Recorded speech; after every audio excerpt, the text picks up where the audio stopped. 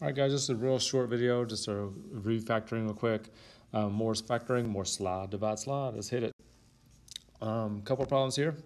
Just a quick review. I'm going to slide, divide, slide this one because it's a trinomial with a 2 in the front. So I'm going to take the 2 over here, slide it, multiply it times the 56, which would give me 2 times 56, which everybody knows is 112. So good night. I got to find two factors of 112 that would give me 9 somehow. Um, so I'm thinking, I don't know, 16 and 7. Uh, yep, that's it. That's it for sure. So that's my factoring. Now I'm gonna, I slid already. Now I'm gonna divide the two. So I'm gonna divide the 16 by two and the seven by two. And because 16 divided by two is eight, I'm gonna put the eight there.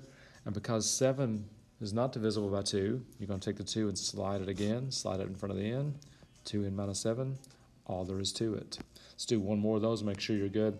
Take the three, slide it to the 20, multiply 20 times three, you get 60. So I'm trying to find factors of 60 that would give me seven somehow. Um, 66 times 10 is also 12 times 5, 12 times 5, 12 times 5. One's positive, one's negative because it's a negative 60. Okay, so I factored it. Now I'm going to divide by the 3. I'm going to divide the 12 by the 3 and the 5 by the 3. 12 divided by 3 is 4. Works great. 5 divided by 3 doesn't work, so I'm going to slide the 3 in front of the y.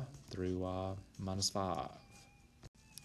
All right, two weird examples here, just something we haven't looked at a whole lot. This first one is not slide, divide, slide, but there's a GCF. Remember, like great, great, greatest common factor. And I'm going to take out the y squared because that's what they have in common. Out of every term, if I factor out the y squared, it leaves me a y squared, a 9y, and a 14.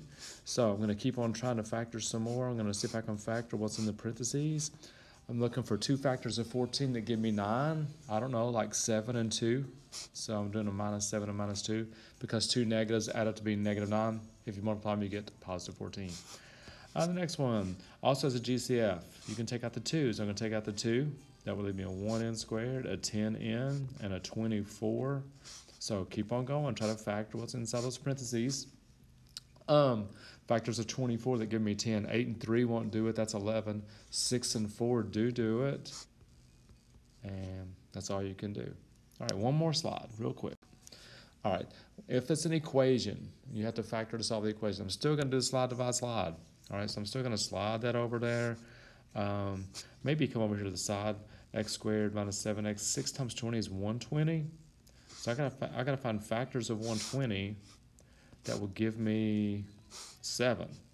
So uh, 12 and 10 won't do it. 15, 8. Yes, 15 and 8. So I'm going to say x minus 15 and plus 8. Now, the reason I did the minus 15 and plus 8 is because the 7's got to be, the 7's negative, so the large number has to be negative. All right, I slid the 6, so now I have to divide by 6. All right, now both of those reduce, so I'm going to reduce those. 15 6 is really 5 halves. 8 6 is really 4 thirds. And now that I've reduced those, now I can slide. Actually, there's no need to slide. I can go ahead and get my answers, which is the great thing. I could slide if I want to, but I, I need my answers here to this equation. It's whatever makes the parentheses zero. So the first parentheses, 5 halves makes it zero. The second parentheses, negative 4 thirds makes it zero. And again, the reason I didn't slide that time is because I needed the answers. What makes it zero? And that's easier to find it right there than it is after you slide. So it's, it's probably a good idea to stop right there. All right. I'll see you Monday. More of the same. See you. Bye.